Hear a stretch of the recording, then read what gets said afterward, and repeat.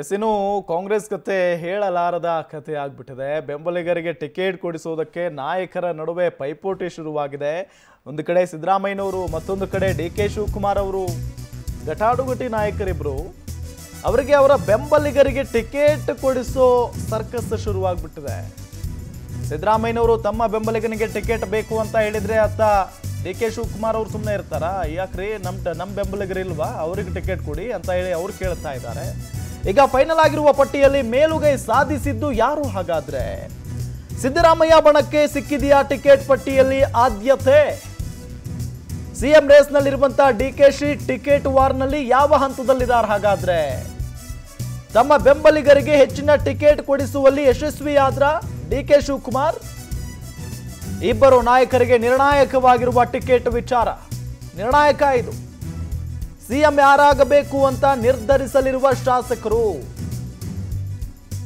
ಹೀಗಾಗಿ ತಮ್ಮ ಬೆಂಬಲಿಗರಿಗೆ ಟಿಕೆಟ್ ಕೊಡಿಸಲು ಫ್ರೀಡಮ್ ಆಪಲ್ ಕಲ್ತು ತೈವಾನ್ ಸೀಬೆ ಬೆಳೀತಿದ್ದೀರಾ? ಹಾಗಾದ್ರೆ ನಿಮ್ಮ ತೈವಾನ್ ಸೀಬೆ ಹಣ್ಣುಗಳನ್ನ ಒಂದು ಕೋಟಿಗೂ ಹೆಚ್ಚು ಫ್ರೀಡಮ್ ಆಪ್ ಬಳಕೆದಾರರಿಗೆ ಯಾವುದೇ ಖರ್ಚಿಲ್ಲದೆ ಮಾರಾಟ ಮಾಡಿ. ಪೈಪೋಟಿಯನ್ನ ನಡೆಸಿದ್ದಾರೆ ಸಿಎಂ ಆಕಾಂಕ್ಷಿಗಳು. ಡಿಕೆಶಿ ಸಿದ್ದು ಮಧ್ಯೆ ಕುತೂಹಲ ಮೂಡಿಸಿದ ಹೈಕಮಾಂಡ್ ಭರಸೆ ಯಾವ ರೀತಿಯಾದಂಥ ನಿರ್ಧಾರಕ್ಕೆ ಬರುತ್ತೆ? ಮಲ್ಲಿಕಾರ್ಜುನ್ ಖರ್ಗೆ ಬೆಂಬಲಿಗರಿಗೂ ಟಿಕೆಟ್ ಫಿಕ್ಸ್, ಬಹುತೇಕ. ಸೋನಿಯಾ ಗಾಂಧಿ, ರಾಹುಲ್ ಗಾಂಧಿ ಮೂಲಕ ಟಿಕೆಟ್ಗೆ ಗಾಳ ಹಾಕ್ತಾ ಇದ್ದಾರೆ ಇವರು. ರಾಜ್ಯ ನಾಯಕತ್ವ ಶಿಫಾರಸು ಮಾಡದಿದ್ದರೂ ಕೆಎಚ್ ಮುನಿಯಪ್ಪಗೆ ಟಿಕೆಟ್ ಸಿಗುವಂತ ಸಾಧ್ಯತೆ ಇದೆ. ದೇವನಹಳ್ಳಿಯಿಂದ ಹಿರಿಯ ನಾಯಕ ಕೆಎಚ್ ಮುನಿಯಪ್ಪಗೆ ಟಿಕೆಟ್ ಸಿಗುವಂತ ಸಾಧ್ಯತೆ ಇದೆ. ಎಸಿ ಶ್ರೀನಿವಾಸ ಹೆಸರು ಶಿಫಾರಸು ಮಾಡಿದ್ದ ರಾಜ್ಯ ನಾಯಕರು. ಹೈಕಮಾಂಡ್ ನಡೆಯಿಂದ ರಾಜ್ಯ ನಾಯಕರಿಗೆ ಅಚ್ಚರಿ ಉಂಟಾಗ್ಬಿಟ್ಟಿದೆ ನೋಡಿ. ಸೋನಿಯಾ ಗಾಂಧಿ ಜೊತೆ ಉತ್ತಮ ಒಡನಾಟ ಹೊಂದಿದ್ದಾರೆ ಮುನಿಯಪ್ಪ ಅವರು, ಹೌದು. ಖರ್ಗೆ ಜೊತೆಗೂ ಮುನಿಯಪ್ಪ ಸ್ನೇಹ ಸಂಬಂಧ ವರ್ಕೌಟ್ ಆಗಿದೆ ಇಲ್ಲಿ. ಖರ್ಗೆ ಅವರ ಜೊತೆಗೂ ಬಹಳ ಉತ್ತಮ ಸ್ನೇಹವನ್ನ ಹೊಂದಿದ್ದಾರೆ ಮುನಿಯಪ್ಪ. ಆದರೆ ಡಿ ಕೆ ಶಿ ಮತ್ತು ಸಿದ್ದರಾಮಯ್ಯ ಅವರ ನಡೆ ಯಾವ ರೀತಿಯಾಗಿರುತ್ತೆ ಈ ರೀತಿಯಾದಂಥ ಒಂದು ಕುತೂಹಲ ಇದ್ದೇ ಇದೆ. ಎಸ್, ಇದೇ ವಿಚಾರಕ್ಕೆ ಸಂಬಂಧಪಟ್ಟಂತೆ ನಮ್ಮ ದೆಹಲಿ ಪ್ರತಿನಿಧಿ ಸಂತೋಷ್ ಹೆಚ್ಚಿನ ಮಾಹಿತಿಯನ್ನು ನೀಡ್ತಾ ಹೋಗ್ತಾರೆ. ಸಂತೋಷ್, ಒಂದು ಕಡೆ ಪ್ರಾದೇಶಿಕ ಪಕ್ಷದ ಕತೆ ಬೇರೆ ರೀತಿಯಾಗಿದೆ ಬಿ ಜೆ ಪಿ ಪಕ್ಷದ ಕತೆ ಬೇರೆ ರೀತಿಯಾಗಿದೆ, ಆದರೆ ಇದು ಕಾಂಗ್ರೆಸ್ನಲ್ಲಿ ಮುಗಿಯದ ಕತೆ ಅಂತ ಹೇಳಬಹುದು. ಯಾಕೆ ಅಂತ ಹೇಳಿದರೆ, ಟಿಕೆಟ್ ಫೈನಲ್ ಆಗಿದೆ ಅದನ್ನು ತಿಳಿಸೋದಕ್ಕೆ ಹಿಂದೆ ಮುಂದೆ ಮಾಡ್ತಾ ಇದ್ದಾರೆ. ಇನ್ನು ಬೆಂಬಲಿಗರಿಗೆ ಟಿಕೆಟ್ ಕೊಡಿಸೋದಕ್ಕೆ ಸಿದ್ದರಾಮಯ್ಯ ಹಾಗೂ ಡಿ ಕೆ ಶಿ ಅವರ ನಡುವೆ ಪೈಪೋಟಿ ಶುರುವಾಗಿದೆ ಅನ್ನೋದು ಗೊತ್ತಾಗ್ತಾ ಇದೆ.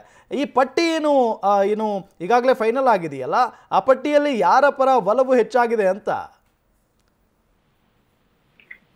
ರಾಮ್, ಸಹಜವಾಗಿ ಏನು ರಾಷ್ಟ್ರೀಯ ಪಕ್ಷ ಅಂತ ಹೇಳಿದ್ಮೇಲೆ ಅದಕ್ಕೊಂದು ಅಂತಿಮವಾದಂತಹ ಮುದ್ರೆಯನ್ನು ಹಾಕೋದಕ್ಕೆ ದೆಹಲಿಯಲ್ಲಿ ಕುಳಿತಿರುವಂತಹ ಹೈಕಮಾಂಡ್ಗಳು ನೇರವಾದಂತಹ ಜವಾಬ್ದಾರಿನ ಹೊಂದಿರ್ತಾರೆ. ಈ ನಿಟ್ಟಿನಿಂದಾಗಿ ಹೇಳಿ ಕೇಳಿ ಆ, ಕಾಂಗ್ರೆಸ್ನಲ್ಲಿ ಎಸಿಸಿ ಅಧ್ಯಕ್ಷರಾಗಿರುವಂತದ್ದು ಕರ್ನಾಟಕದವರು. ಮಲ್ಲಿಕಾರ್ಜುನ್ ಖರ್ಗೆ ಅವರಿಗೆ ಎಲ್ಲಾ ರೀತಿಯಾದಂತಹ ಸಂಪೂರ್ಣ ಚಿತ್ರಣ ಕರ್ನಾಟಕದ ಬಗ್ಗೆ ಮಾಹಿತಿ ಇದೆ. ಯಾವ ಯಾವ ಅಭ್ಯರ್ಥಿಗಳಿಗೆ ಟಿಕೆಟ್ ಅನ್ನು ಕೊಟ್ಟಿದ್ದ ಅದರಲ್ಲಿ ಈ ಬಾರಿ ಕರ್ನಾಟಕದಲ್ಲಿ ಕಾಂಗ್ರೆಸ್ ಹೆಚ್ಚಿನ ಒಂದು ಸೀಟನ್ನು ಗೆಲ್ಲುವುದಕ್ಕೆ ಸಾಧ್ಯವಿದೆ ಅನ್ನೋದ್ರ ಬಗ್ಗೆ. ಈ ನಿಟ್ಟಿನಿಂದಾಗಿ ನಿನ್ನೆ ನಡೆದಂತಹ ಸಿಇಸಿ ಸಭೆ ಏನಿತ್ತು ತುಂಬಾ ಮಹತ್ವವನ್ನು ಕೂಡ ಪಡೆದುಕೊಂಡಿತ್ತು. ಆದ್ರೆ ಮೂರು ಗಂಟೆಗಳ ಕಾಲಾವಕಾಶ ನಡೆದಂತಹ ಸಿಇಸಿ ಸಭೆ ನೂರ ಎಂಬತ್ನಾಲ್ಕು ಅಭ್ಯರ್ಥಿಗಳ ಬಗ್ಗೆ ಚರ್ಚೆ ನಡೆಸಿದ್ರು ಕೂಡ.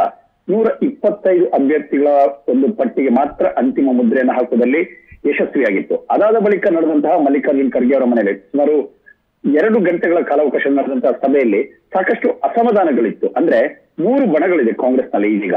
ಸಿದ್ದರಾಮಯ್ಯ ಬಣ ಇರ್ಬೋದು ಕೆಪಿ ಜೊತೆಗೆ ಕೆಪಿಸಿಸಿ ಅಧ್ಯಕ್ಷ ಡಿ ಕೆ ಶಿವಕುಮಾರ್ ಬಣ, ಮತ್ತೊಂದು ಕಡೆ ಮಲ್ಲಿಕಾರ್ಜುನ್ ಖರ್ಗೆ ಅವರ ಬಣ ಎಐಸಿ ಅಧ್ಯಕ್ಷರಾಗಿರೋದು ಯಾಕೆಂತ ಹೇಳಿದ್ರೆ ಮೂರು ಜನ ಬಣದ ಈ ಒಂದು ಅಭ್ಯರ್ಥಿಗಳೇ, ತಮ್ಮ ಆಕಾಂಕ್ಷಿಗಳೇನಿದ್ರು ಅವರ ಬೆಂಬಲಿಗರು. ಅಂತವರಿಗೆ ಟಿಕೆಟ್ ಅನ್ನು ಕೊಡಿಸಿದ್ದೇ ಆದಲ್ಲಿ ಮುಂದಿನ ದಿನಗಳಲ್ಲಿ ಪಕ್ಷ ಅಧಿಕಾರಕ್ಕೆ ಬಂದಂತಹ ಸಂದರ್ಭಗಳಲ್ಲಿ ಮುಖ್ಯಮಂತ್ರಿ ಅಭ್ಯರ್ಥಿಯನ್ನು ನಿರ್ಧಾರ ಮಾಡೋದಕ್ಕೆ ಸಹಕಾರವಾಗುತ್ತೆ, ಬೆಂಬಲವನ್ನ ನೀಡ್ತಾರೆ ಅನ್ನುವಂತ ನಿರ್ಧಾರದಿಂದಾಗಿ ಇದೀಗ ಕೆಲವೊಂದಿಷ್ಟು ಹೆಸರುಗಳನ್ನ, ತಮ್ಮ ಬೆಂಬಲಿಗರ ಹೆಸರುಗಳನ್ನ ಚರ್ಚೆ ಕೂಡ ಒಳಪಡಿಸಿದ್ದಾರೆ. ಆದ್ರೆ ನಿನ್ನೆ ನಡೆದಂತಹ ನೂರ ಇಪ್ಪತ್ತೈದರಲ್ಲಿ ಸುಮಾರು ಎಪ್ಪತ್ತೈದಕ್ಕೂ ಹೆಚ್ಚಿನ ಜನ ಅಭ್ಯರ್ಥಿಗಳೇನಿದ್ರು ಅವರೆಲ್ಲರೂ ಕೂಡ ಸಿದ್ದರಾಮಯ್ಯನವರ ಬಣದ ಅಭ್ಯರ್ಥಿಗಳು ಅನ್ನುವಂಥದ್ದನ್ನು ಕೂಡ ಈಗಾಗಲೇ ಹೇಳಲಾಗಿದೆ. ಒಂದು ರೀತಿಯಲ್ಲಿ ಸಿದ್ದರಾಮಯ್ಯನವರಿಗೆ ಫ್ಯಾನ್ ಫಾಲೋವಿಂಗ್ ಜಾಸ್ತಿ ಇದೆ ಒಂದು ಕಡೆ. ದಕ್ಷಿಣ ಕರ್ನಾಟಕವನ್ನು ಹೊರತುಪಡಿಸಿ ಉತ್ತರ ಕರ್ನಾಟಕದಲ್ಲೂ ಕೂಡ ಅತಿ ಹೆಚ್ಚಿನ ಒಂದು ಶಾಸಕರ ಬೆಂಬಲ ಇದೆ ಅನ್ನುವಂಥದ್ದು ಕೂಡ ಸ್ಪಷ್ಟವಿದೆ ಇನ್ನು ಉಳಿದಂತೆ ಕೇವಲ ಒಂದು ಪ್ರದೇಶಕ್ಕೆ ಮಾತ್ರ ಸೀಮಿತವಾಗಿರುವಂತಹ ಡಿ ಕೆ ಶಿವಕುಮಾರ್ ಅವರ ಬಣ ಮುಖ್ಯವಾಗಿ ಮೈಸೂರು ಹಾಸನ ಚಿಕ್ಕಬಳ್ಳಾಪುರ ತುಮಕೂರು ಹೀಗೆ ಸುತ್ತಮುತ್ತ ಕೋಲಾರ ಸುತ್ತಮುತ್ತದ ಕೆಲವೊಂದಿಷ್ಟು ಜಿಲ್ಲೆಗಳಿಗೆ ಮಾತ್ರ ಡಿ ಕೆ ಶಿವಕುಮಾರ್ ಅವರ ಬೆಂಬಲಿಗರು ಮಾತ್ರ ಸೀಮಿತವಾಗಿದ್ದಾರೆ ಅಂತಾನೆ ಹೇಳಲಾಗಿದೆ. ಸುಮಾರು ಇಪ್ಪತ್ತೈದರಿಂದ ಮೂವತ್ತು ಜನ ಬೆಂಬಲಿಗರ ಹೆಸರನ್ನು ಮಾತ್ರ ಡಿ ಕೆ ಶಿವಕುಮಾರ್, ಆ ಒಂದು ಪಾಸ್ ಮಾಡಿಕೊಳ್ಳಲು ಯಶಸ್ವಿಯಾಗಿದ್ದಾರೆ. ಕೆಪಿಸಿಸಿ ಅಧ್ಯಕ್ಷರಾಗಿದ್ರು ಕೂಡ. ಇನ್ನು ಉಳಿದಂತೆ ಸಹಜವಾಗಿ ಮಲ್ಲಿಕಾರ್ಜುನ್ ಖರ್ಗೆ ಅವರು ತಮ್ಮದೇ ಆದಂತಹ ಆಸ್ತವನದ ಬೆಂಬಲಿಗರಿಗೆ ಹೆಚ್ಚಿನ ಒಂದು ಪ್ರಾಶಸ್ತ್ಯವನ್ನು ನೀಡಬೇಕು ಅನ್ನೋದನ್ನ ಹೇಳಿದ್ದಾರೆ. ಅದಕ್ಕೆ ಯಾವುದೇ ರೀತಿಯಾದ ತಕರಾರನ್ನ ಈ ಇಬ್ಬರು ನಾಯಕರು ಕೂಡ ಎತ್ತಿಲ್ಲ. ಈ ನಿಟ್ಟಿನಿಂದಾಗಿ ಕೆಲವೊಂದಿಷ್ಟು ಅಧಿಕೃತವಾಗಿ ಘೋಷಣೆ ಮಾಡುವಂತಹ ಈ ಒಂದು ಪಟ್ಟಿ ಏನಿದೆ ಅದರ ಬಗ್ಗೆ ವಿಳಂಬವಾಗ್ತಿದೆ ಇಲ್ಲ ಅಂತ ಹೇಳಿದ್ರೆ ನಿನ್ನೆ ನಡೆದಂತ ಸಭೆ ಹಿನ್ನೆಲೆ ಇವತ್ತು ಅಥವಾ ನಾಳೆ ಒಂದು ಪಟ್ಟಿ ಬಿಡುಗಡೆ ಆಗ್ಬೇಕಾಗಿತ್ತು. ಜೊತೆಗೆ ಇದೇ ಇಪ್ಪತ್ತರಂದು ಬೆಳಗಾವಿಗೆ ರಾಹುಲ್ ಗಾಂಧಿ ಆಗಮಿಸಿದ್ದಾರೆ. ಒಂದು ವೇಳೆ ಮುಂಚಿತವಾಗಿ ಬಿಡುಗಡೆ ಮಾಡಿದ್ದಾದಲ್ಲಿ ಪಟ್ಟಿಯನ್ನ ಅಸಮಾಧಾನ ಒಂದು ಸ್ಫೋಟಗೊಳ್ಳುವಂತಹ ಸಾಧ್ಯತೆಗಳಿರುತ್ತೆ. ಮತ್ತೆ ಪಕ್ಷಕ್ಕೆ. ಮುಜುಗರವಾಗುತ್ತೆ ಬಿಜೆಪಿಗೆ ಮತ್ತೆ ಆಹಾರವಾಗಬೇಕಾದಂತಹ ಸನ್ನಿವೇಶ ಉಂಟಾಗುತ್ತೆ ಅನ್ನೋದ್ರ ಬಗ್ಗೆ ಎಲ್ಲವನ್ನ ಅರಿತುಕೊಂಡು ಇದೇ ಯುಗಾದಿಯ ಒಂದು ಆಸ್ಪಾಸ್ನಲ್ಲಿ ಅಂತಿಮವಾದಂತಹ ಮೊದಲ ಪಟ್ಟಿ ಕಾಂಗ್ರೆಸ್ನ ಮೊದಲ ಪಟ್ಟಿ ಬಿಡುಗಡೆ ಆಗುವಂತ ಸಾಧ್ಯತೆ ಇದೆ. Thank you Santosh freedom app ಅಲ್ಲಿ ಕಲ್ತು ತೈವಾನ್ ಸೀಬೆ ಬೆಳಿತಿದ್ದೀರಾ? ಹಾಗಾದ್ರೆ ನಿಮ್ಮ ತೈವಾನ್ ಸೀಬೆ ಹಣ್ಣುಗಳನ್ನ ಒಂದು ಕೋಟಿಗೂ ಹೆಚ್ಚು ಫ್ರೀಡಮ್ ಆಪ್ ಬಳಕೆದಾರರಿಗೆ ಯಾವುದೇ ಖರ್ಚಿಲ್ಲದೆ ಮಾರಾಟ ಮಾಡಿ.